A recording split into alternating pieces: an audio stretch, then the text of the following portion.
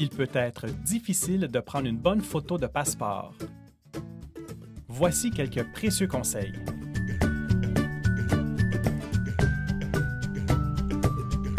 Portez des vêtements de couleur vive afin de créer un haut contraste avec l'arrière-plan. Évitez le blanc.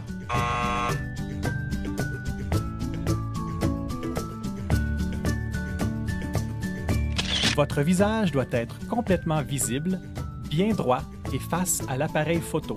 L'expression doit être neutre. Il ne faut pas sourire. Ne portez pas de bijoux scintillants ni de rouge à lèvres brillant. Si vous avez la peau du visage luisante, essuyez-la avec un mouchoir. Vous pouvez porter des lunettes dans la mesure où vos yeux sont bien visibles et qu'il n'y a pas de reflet, mais vous augmenterez sans doute vos chances d'obtenir une meilleure photo en enlevant vos lunettes. Le port de verre teinté est interdit afin que l'on puisse voir clairement et nettement les yeux du requérant. Si vous avez les cheveux longs, ils peuvent être détachés à condition qu'aucune partie du visage ne soit couverte.